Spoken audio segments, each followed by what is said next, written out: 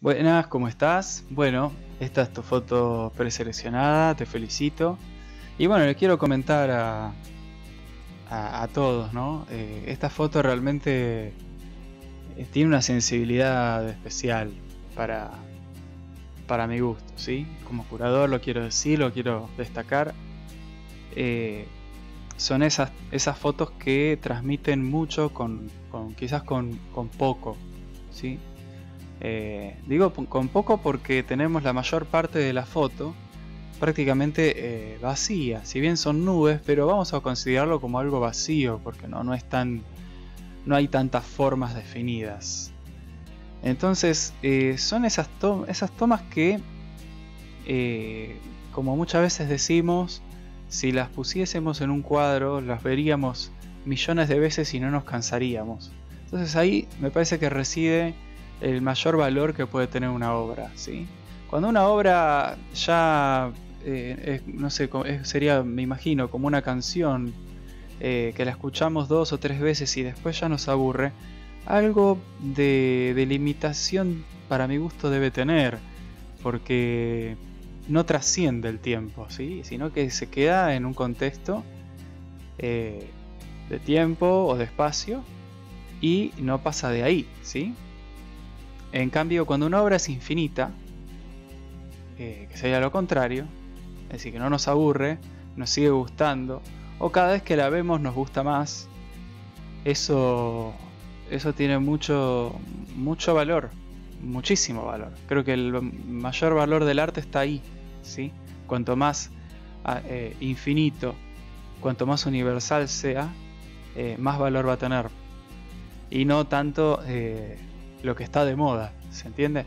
Entonces eh, es una foto que de ninguna manera, por lo menos yo quería, no, quería rechazar. Eh, me parece, vuelvo a decir, una sensibilidad artística de ver ese momento, de ver ese contraluz, esas figuras que se recortan perfectamente del fondo.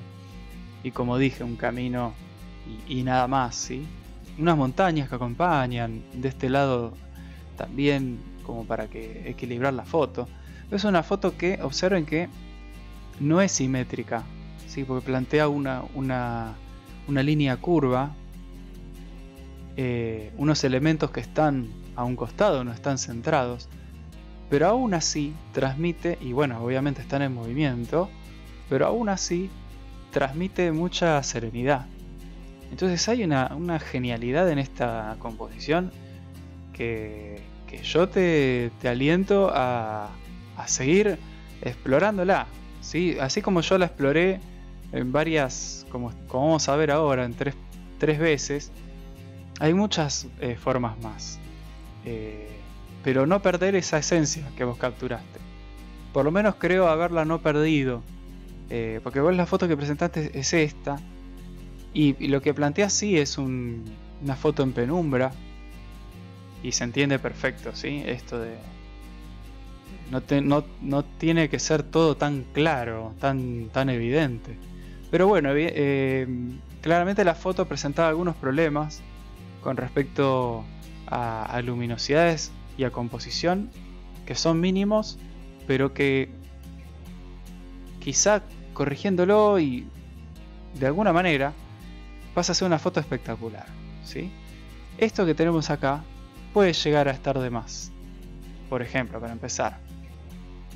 Entonces, lo recortamos y listo. Y además ya nos queda en el tercio, ¿sí? Como movimiento. Si nosotros agregamos esa parte, ¿ven? puede llegar a, distraer un poco. Está bien que en la foto que, que se presentó no está tan claro, está más oscuro. Pero bueno, yo te voy a recomendar aclararlo un poco, ¿sí? Para que se vea un poco más el camino. Porque acá tenemos este, este problema, por lo que yo puedo observar.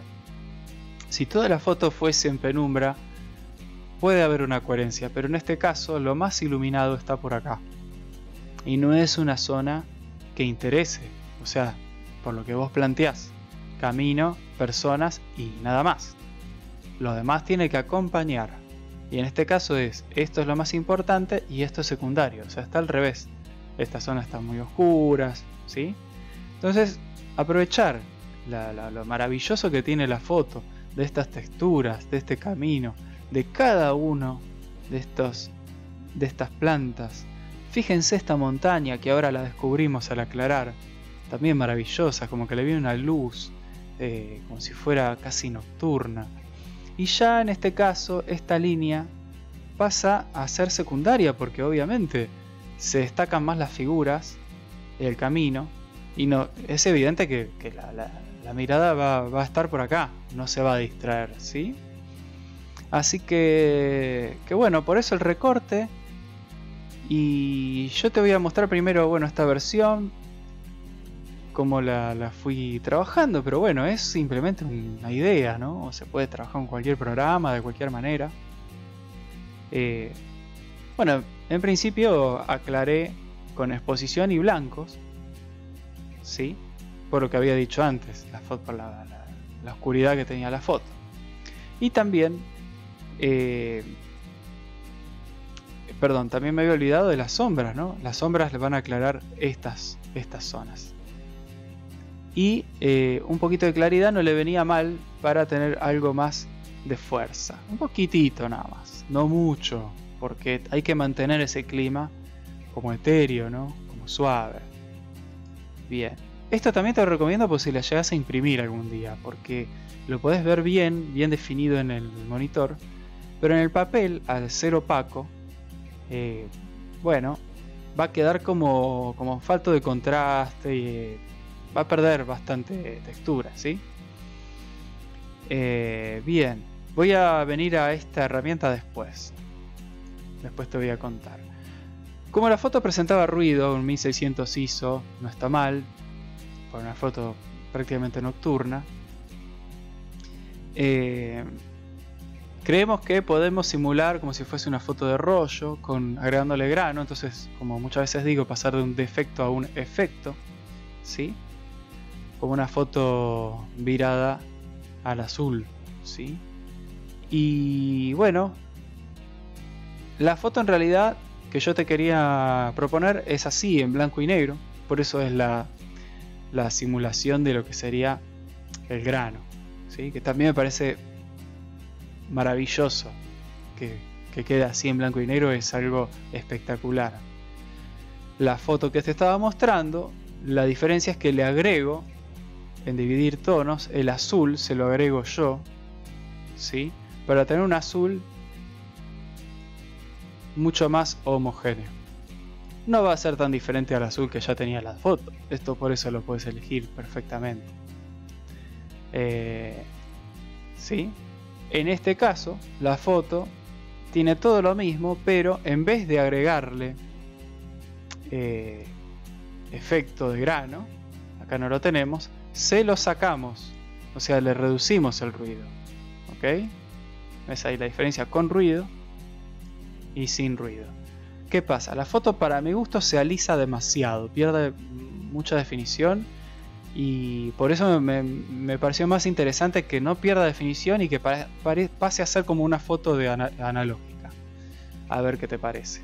Me parece que cualquiera de las dos opciones iría excelente.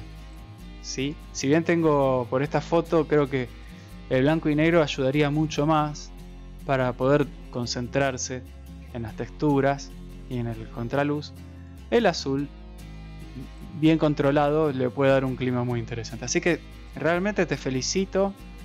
Es una toma que me encanta. Así te lo digo. Es como dije al principio, más palabras no tengo, o sea, para, para felicitarte por ese momento y agradecerte también por darme esta oportunidad de poder explorar con una toma tan tan sensible, esa es la palabra, tan, tan artística, ¿sí? Así que muchas gracias y te mandamos un saludo del Fotoclub. Hasta luego.